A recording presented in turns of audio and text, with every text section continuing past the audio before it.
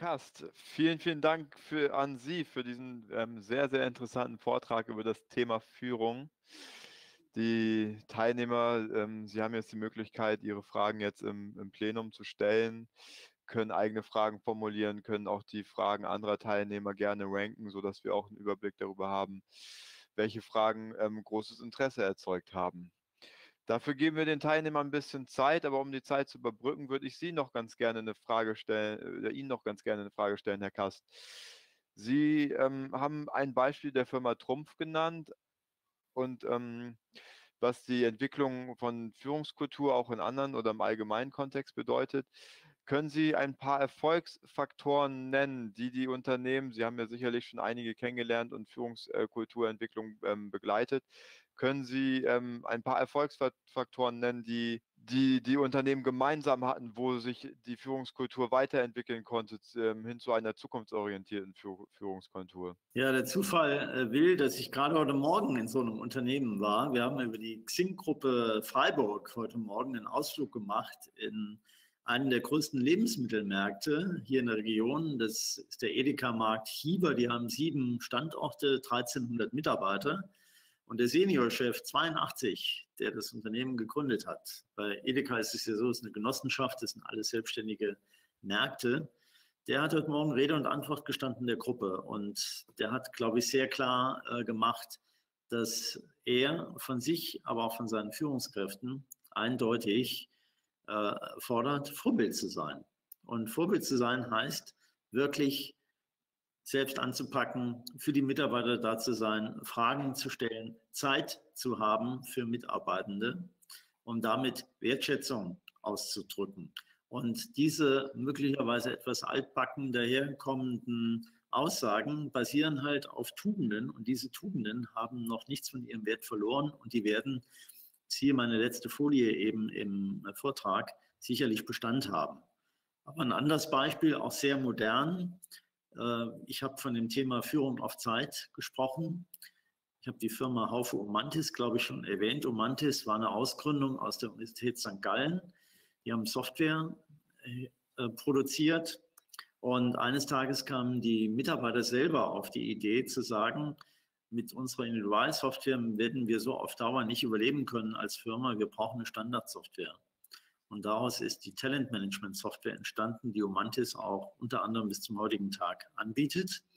Und von diesem Erlebnis her hat der Hermann Arnold, Gründer der Firma Omantis, gesagt, ich muss einfach feststellen, ja, Mitarbeiter bessere Ideen als ich und hat sich daraufhin aus eigenem Entschluss aus der Führung des Unternehmens, aus der operativen Führung zurückgezogen war ja selber Gründer des Unternehmens, ist dann Chairman geworden und eines Tages wiederum kamen die Mitarbeiter und haben gesagt, äh, ich glaube, so wir als kleine Firma äh, wären, glaube ich, gut beraten, uns einem größeren Verbund anzuschließen. Und dann haben die Mitarbeiter mit entschieden im Auswahlprozess, äh, in welche Unternehmensgruppe man einsteigt. Und dann ist es Haufe geworden. Und so ist die Entwicklung dazu gekommen, dass Umantis heute eine Firma Haufe Omantis ist, wo die Mitarbeiter ihre Führungskräfte auf Zeit wählen. Und der jetzige CEO des Unternehmens, der Marc Stoffels, der ist halt jetzt schon auch fünfmal von den Mitarbeitern wiedergewählt worden. Es kann aber auch passieren, dass jemand nicht wiedergewählt wird als Führungskraft. Also das sind Entwicklungen, die sehe ich stark in der Softwarebranche in vielen Unternehmen an, die diese neuen Wege der Führung und Zusammenarbeit gehen mit äh, Führungskräften, die einfach die Souveränität haben, mit dieser Entwicklung auch umzugehen. Das mal soweit zwei Beispiele, die mir dazu gerade aktuell einfallen. Passend, dass Sie da gerade heute Morgen schon eins ähm, hautnah wieder erleben konnten. Ähm, jetzt sind auch mittlerweile auch ein paar ähm, Fragen im Plenum gestellt worden, die auch schon gegenseitig bewertet wurden. Ähm, da fangen wir mit der obersten an oder mit der ersten an. Wie sieht die konkrete Übertragung im Praxisalltag aus? Ja, ein Beispiel habe ich schon genannt, äh, ja. dass eine Führungskraft selber den Entschluss zieht, äh, sich äh, zurückzuziehen und eine Führung auf Zeit basiert. Also Mitarbeiter wählen die Führungskräfte. Eine andere, sehr praktische habe ich im Teil 1 geschildert, dass wir nicht nur flexible Arbeitszeiten einführen, sondern ein Konstrukt der lebensphasenorientierten Arbeitszeiten generieren in dem die Mitarbeitenden äh, Zeit ansammeln können, Zeit dann in Geld umwandeln oder auch äh, Weihnachtsgeld oder Urlaubsgeld in Geld, äh, in Zeit umwandeln und damit auch sich die Chance bewahren ähm, oder erarbeiten, besser gesagt, drei Monate, sechs Monate eine Auszeit zu, zu nehmen. Und wir wissen aus allen Fällen von Sabbaticals, dass die Mitarbeitenden in der Regel als Mitarbeiter besser zurückkommen als vorher, weil diese Zeit auch eine Menge neuen, neuer Ideen äh, produziert hat und eine andere Sichtweise aufs Arbeitsverhältnis, meistens eine positivere, mit sich bringt. Oder die Thematiken Mentoring und Coaching. Also Mentoring kann ich sofort in jedem Unternehmen einführen, indem ich äh, im ersten Schritt mit Hilfe der Personalabteilung, vielleicht auch mit Hilfe von externen Mentoren ausbilde im Unternehmen. Das ist jetzt nicht so Rocket Science, das zu tun. Äh, das geht auch relativ schnell und diese Mentoren andere Führungskräfte zusammenbringen, um über Führungsthemen aktuell im Unternehmen nachzudenken und konkrete Lösungsvorschläge zu erarbeiten in einem Zeitraum, der äh, einmal im Monat von so einer Gruppe mit zwei, drei Stunden am Nachmittag in der Teamsitzung absolviert wird. Und dann wird man äh, nach drei Monaten auch ein Ergebnis haben. So eine Gruppe wird natürlich am Anfang unterstützt. Ich sagte es von der Personalabteilung oder von einem externen Berater, aber dann laufen die das, äh, lernen die das Laufen selbst. Und das produziert einen großen Erfolg fürs Unternehmen. Also das sind alles praktische Beispiele, wie man, je nachdem, was zum Unternehmen passt, ja, anfängt. Man wird ja so ein ganzes Programm, wie ich es hier vorgestellt habe, nicht alles auf einmal einführen. Man sucht sich die Themen aus, die jetzt am dringendsten sind und die am besten zum jeweiligen Unternehmen passen. Das macht auf jeden Fall Sinn. Ähm, Bitte die Frage vielleicht nochmal an denjenigen, der sie gestellt hat, ob die Frage damit beantwortet ist oder ob er noch konkrete Beispiele zum konkreten Thema möchte. Hm. Da können Sie als Teilnehmer dann solche Kommentare sonst auch einfach als Frage formulieren und dazu schreiben. Das können wir dann ja, ja schon einordnen. Mhm. Ähm, wenn es da noch, genau, wenn es da noch Nachfragen gibt.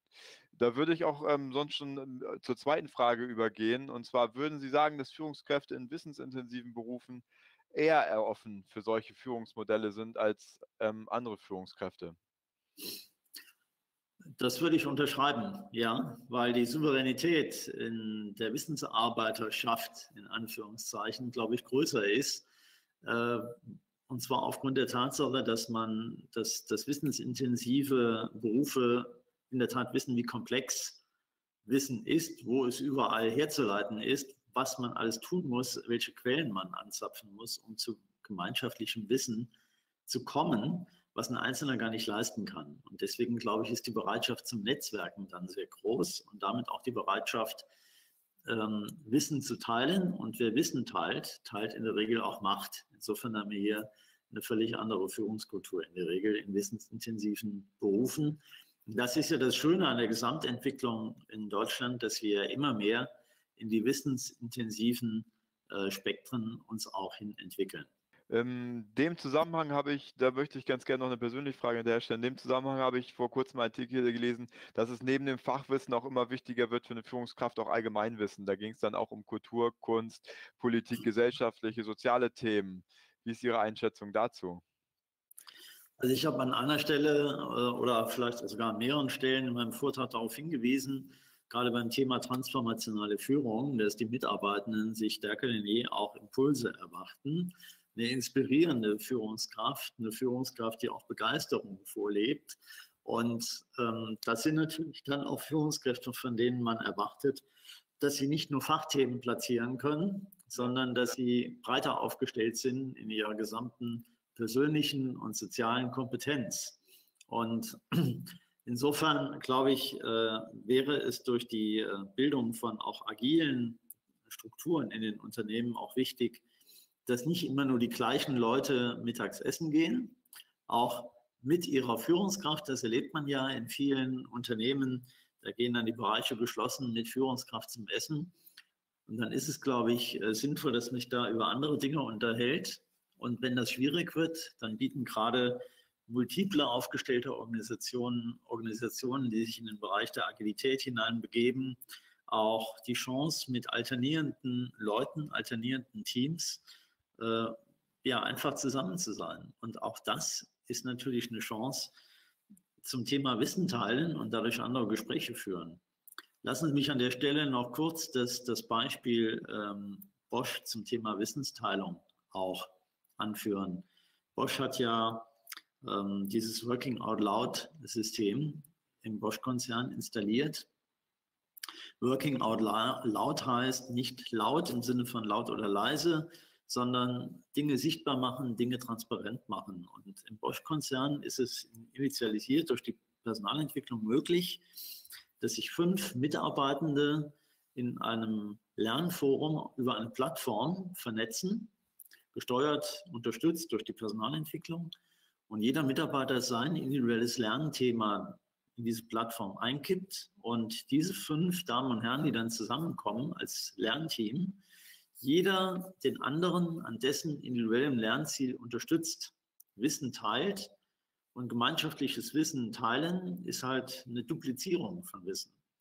Und so arbeitet der Bosch-Konzern daran, Wissen über alle Ländergrenzen hinweg miteinander zusammenzubringen und zu vernetzen. Und das wäre vor fünf Jahren sicherlich in Deutschland in einem großen Konzern noch so nicht möglich gewesen.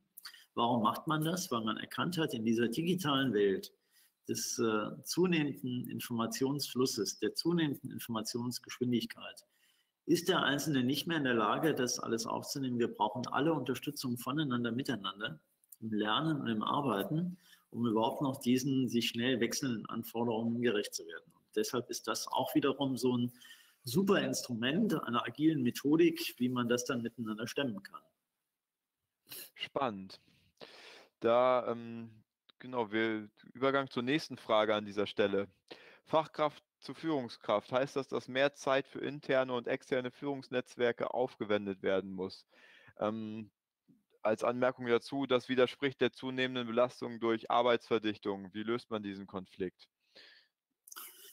Ich habe ja nur die äh, Forderung aufgestellt, dass wir diese unterschiedlichen Karrierepfade so nenne ich es mal, oder Entwicklungswege anbieten, damit äh, ich als Führungskraft auch wechseln kann in eine Fachaufgabe oder eine Projektaufgabe und vice versa.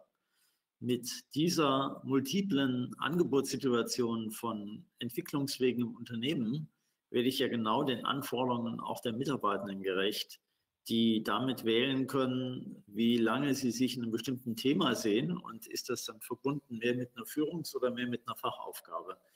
Ich glaube, es erleichtert sogar das äh, Arbeiten der Mitarbeitenden und der Führungskräfte untereinander und miteinander, wenn es hier einfach mehr Möglichkeiten gibt. Und gerade in technologisch geprägten Unternehmen, wie jetzt zum Beispiel Softwareunternehmen oder Werkzeug- und Maschinenbauunternehmen, ähm, Maschinenunternehmen äh, in der Automationsbranche, die sind darauf angewiesen, dass sie ihren Mitarbeitenden auch im Zuge der, der ähm, immer mehr gekürzten Führungshierarchien auch andere Entwicklungswege anbieten. Also insofern ist es wirklich eher positiv gemeint zum Vorteil der Mitarbeiter, dass ich hier mehr Auswahl habe, mich im Unternehmen zu entwickeln, passend zu meinen Fähigkeiten.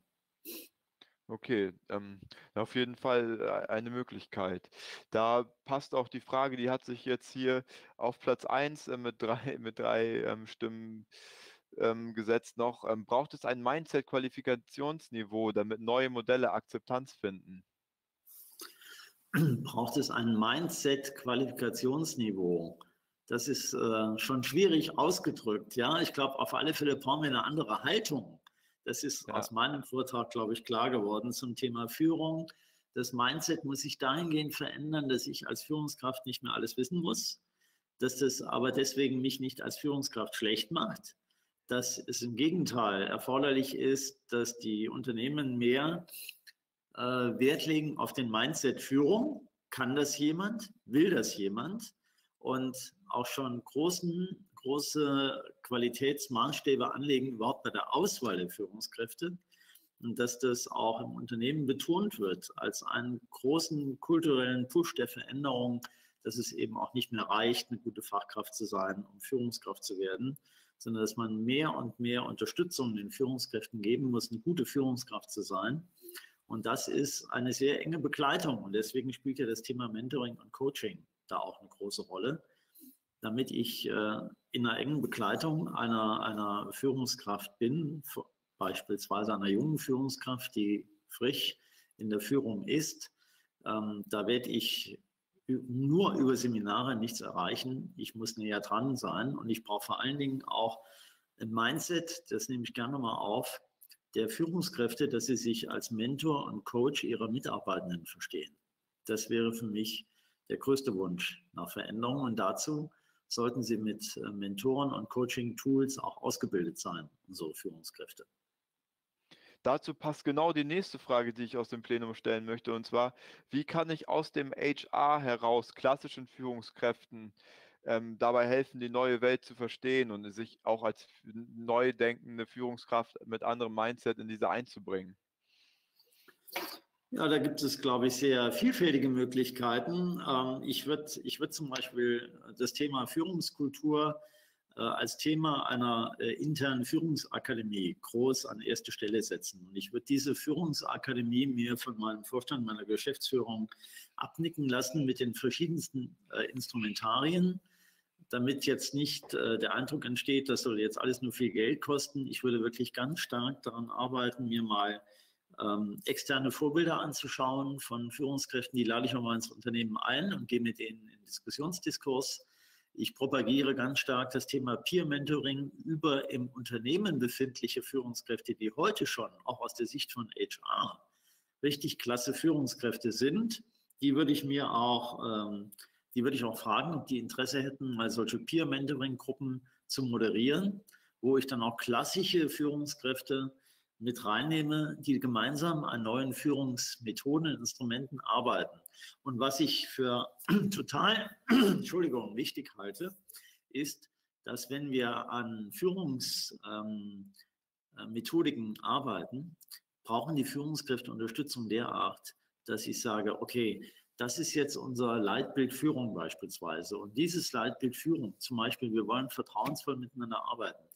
Mit welchen Instrumenten bediene ich denn diese Forderung, dass wir vertrauensvoll miteinander umgehen und zu welcher Maßnahme führt das dann? Also beispielsweise, wenn ich sage, wir wollen vertrauensvoll miteinander arbeiten, dann ist das zum Beispiel die, die, das Führungsinstrument, ich habe äh, Zeit für meine Mitarbeiter erstens und stelle mich auch einer, einer Gruppendiskussion einmal im Monat mit meinen Mitarbeitenden, wo zwei aus dem Team mir meine Führungshaltung spiegeln.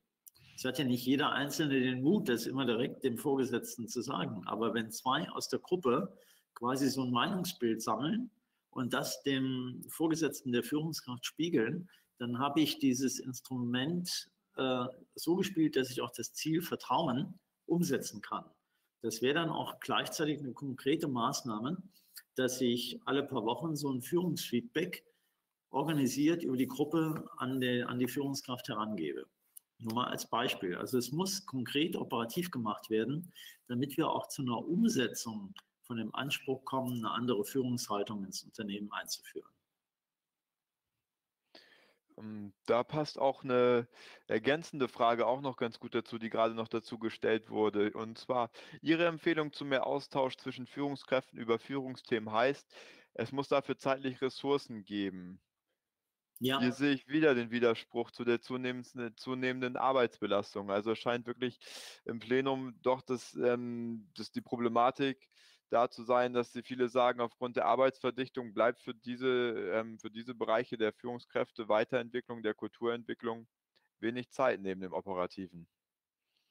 Ja, und das ist gleichzeitig richtig und natürlich auch gleichzeitig äh, falsch, ja, in Anführungszeichen falsch.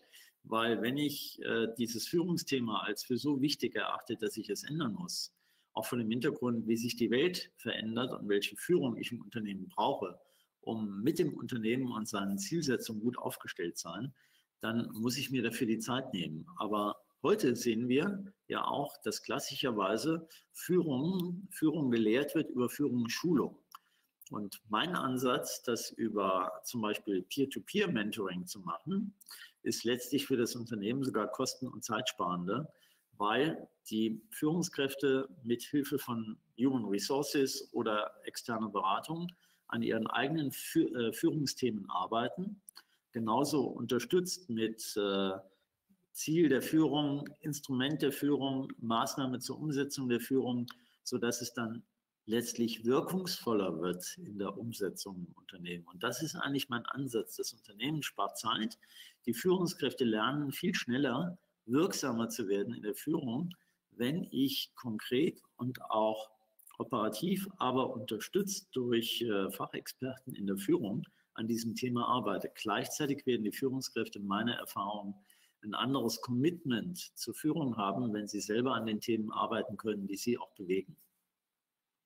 Ähm, da passt auch perfekt eine Frage aus dem Plenum noch, die jetzt auch mit einem weiteren Kommentar noch ähm, kommentiert wurde. Und zwar, wie und wo können denn Erfolge messbar gemacht werden? Weil auch aus dem Plenum dann kam, Messbarkeit sichert Akzeptanz. Gerade wenn es auch um die Richtig. Unterstützung des Managements geht. Ja, äh, das ist total wichtig, dass das messbar gemacht wird. Und messbar könnte man es zum Beispiel auch dahingehend machen, an dem einen Beispiel von eben festgehalten, gibt es solche Teilnehmerfeedbacks, Mitarbeiterfeedbacks regelmäßig aus den Gruppen, aus den Teams heraus an die Führungskräfte.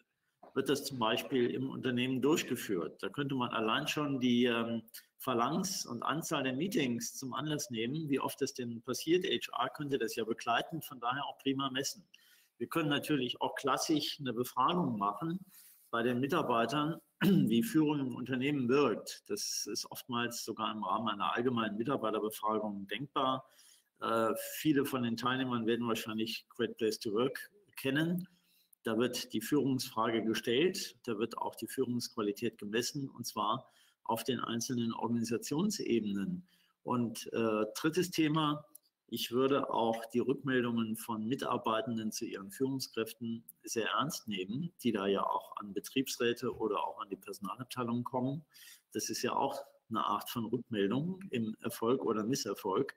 Und dann ist es äh, unserer Glaubwürdigkeit als Top-Führung und Führungskräfte im Personalwesen angelegen, dann auch Maßnahmen zu ergreifen. Ja, nur mal als äh, mehrere Beispiele zur Messung und dann aber auch zur zum Ansetzen von Maßnahmen zum Thema Führung. Ein Führungsbarometer zum Beispiel zu erstellen über eine anonyme Abfrage nur auf das Unternehmen, gezielt einen sogenannten Führungsradar einführen. Das ist auch ein Instrument, das man einsetzen kann in einem Unternehmen, wo man eine kurze Ad-Hoc-Umfrage an die Mitarbeitenden gemacht zum Thema Führung in verschiedenen Dimensionen. Man muss sich das wie so ein Spinnennetz vorstellen wo man Soll-Anforderungen an die Führung hat und das dann im Ist äh, auch messbar machen kann.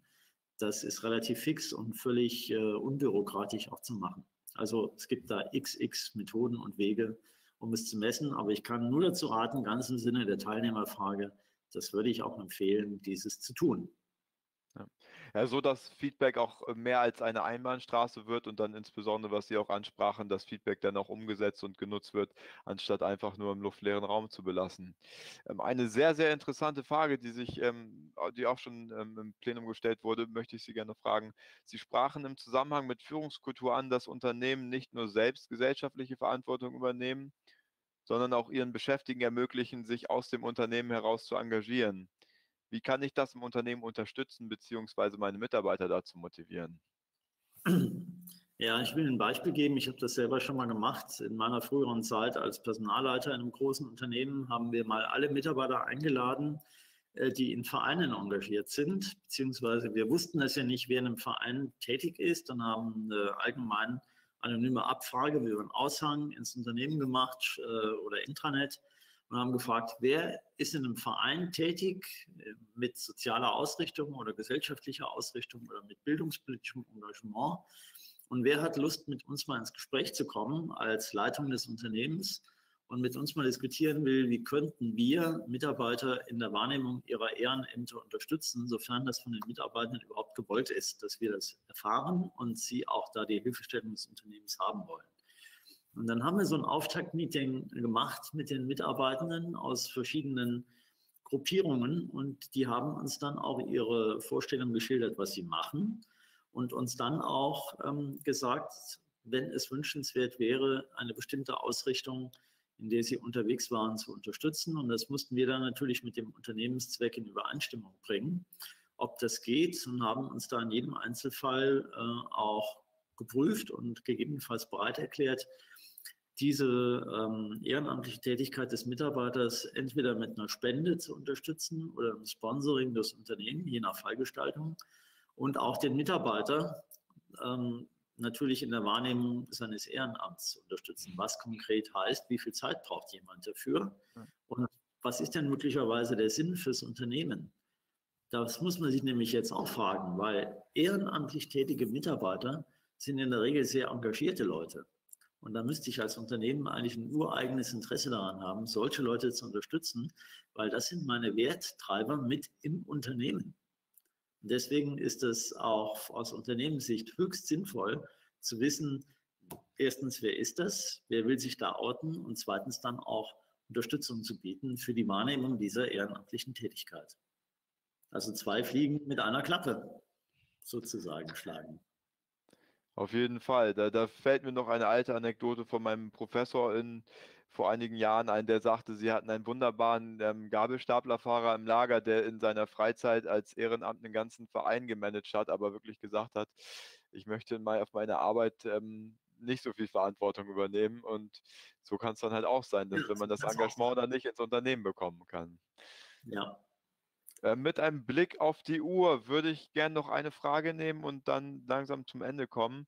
Und zwar die letzte Frage, die hier noch weit oben gerankt ist, ist, was braucht es Ihrer Ansicht nach, um auch in Produktionszusammenhängen, also beispielsweise am Band, neue Führungsmodelle erfolgreich einzusetzen?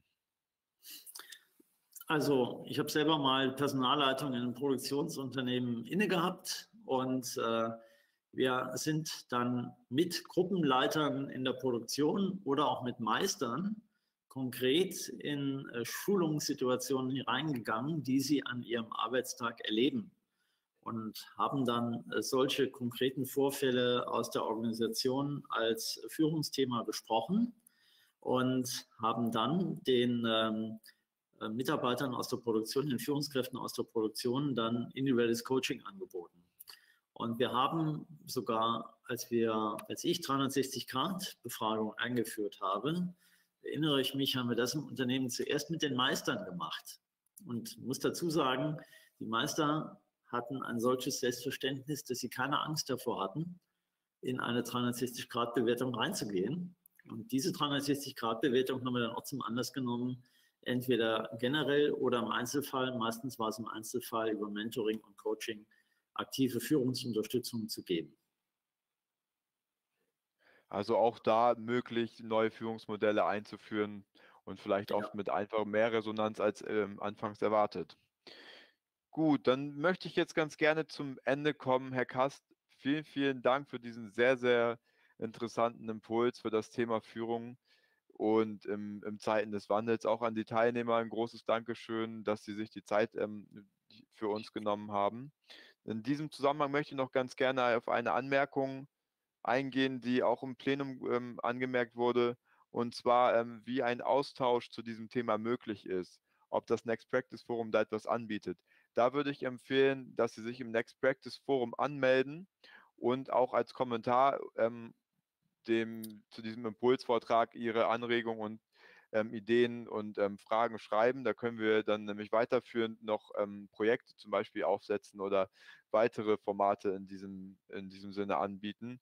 Genauso können Sie das natürlich aber auch per ähm, E-Mail machen. Bei anderen Fragen, Interessen, Anregungen zum Thema oder auch andere Themenvorschläge ähm, per E-Mail an info.ddn-netzwerk.de. Und ähm, Sie haben auch erwähnt in Ihrem Vortrag, dass Neugier für Führungskräfte oder allgemein im Unternehmen sehr, sehr wichtig ist. Das war, da, das war ein sehr, sehr guter Stichpunkt für den nächsten Live-Impuls, den wir hier im Forum haben werden mit Dr. Karl Norton zum Thema Neugier.